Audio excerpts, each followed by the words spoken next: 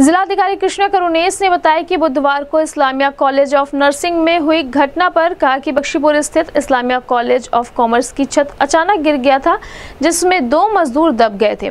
NDRF team व UP police के माध्यम से उनको रेस्क्यू किया गया, जिसमें एक व्यक्ति की मौके पर मृत्यु हो गई थी और दूसरा व्यक्ति गंभीर रूप से घायल हो गया, जिसका अभी हॉस्पिटल में इलाज चल रहा है। जिलाधिकारी ने बताया कि पूरे प्रकरण की जाँच सिटी मजिस्ट्रेट की अध्यक्षता में टीम बनाकर कराई जा रही है और जो घायल है, उनका उपचार किया जा रहा है। जाँच रिपोर्ट आने के बाद आगे की कार्रवाई की जाएगी।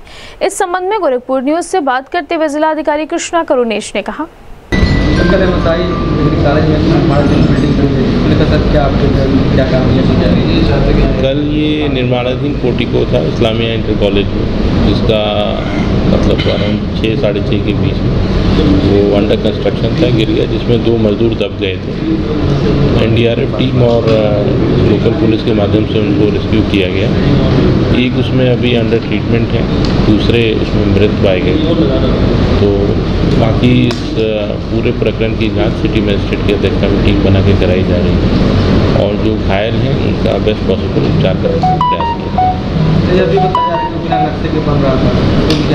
ये हम एक जाँच कमेटी बनी है ये एक बार इसको वेरीफाई करके जब रिपोर्ट देंगे तो आगे की कार्रवाई किया